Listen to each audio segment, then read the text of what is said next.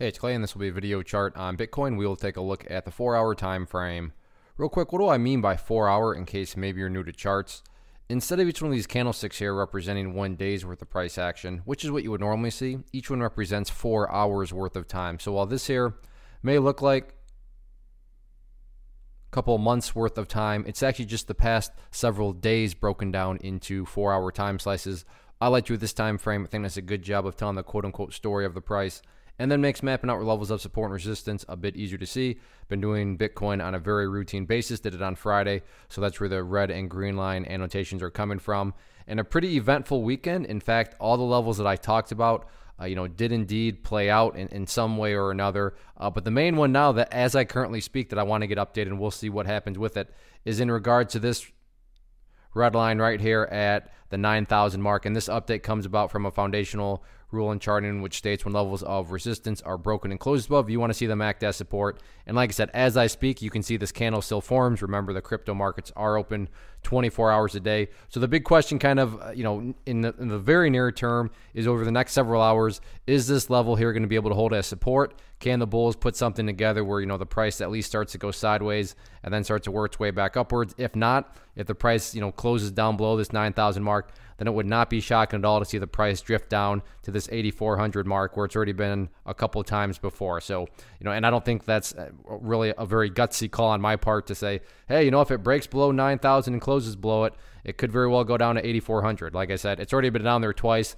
so not exactly some sort of, you know, massive prediction or anything like that. Just because, uh, you know, it, it, just wouldn't be it wouldn't be shocking at all. So, um, you know, with that being said you got to still be fair to the Bulls right now because they are doing a good job of maintaining above, uh, you know, right here around the 9,000 mark. So we'll see if that can hold or not going forward. But if it doesn't, uh, then again, um, you know, keep an eye down on the 8,400 mark, which uh, I'm not going to call a must hold, but yeah, if the price gets any sorts of closes below down here, that would essentially be putting the price at an area that it hasn't seen for a while. Just to offer up a little bit more context on that, if I scrunch up the chart, you can see the last time it was down below 8,400 was, you know, way back here um, in you know mid February when that crazier move type happened and it started to bounce. Uh, so not saying it's headed down there, but that's kind of the importance of why 8400 is one that you want to keep an eye on. As far as levels of resistances, you couldn't draw this up really any better in terms of just kind of bragging on the power of charts. You can see the price got right up here to that purple, or excuse me, the pink line right there,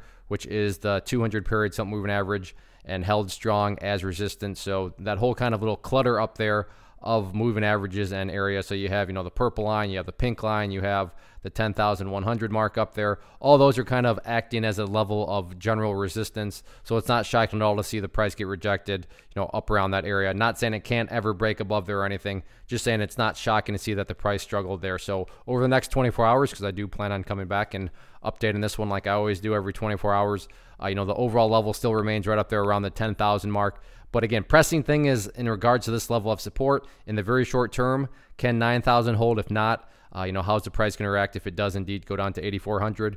We shall see.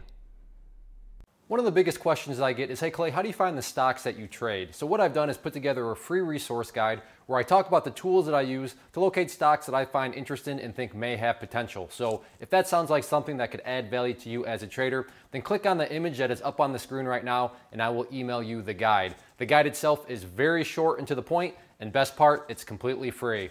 Thanks for watching the video. Let me know if you have any questions.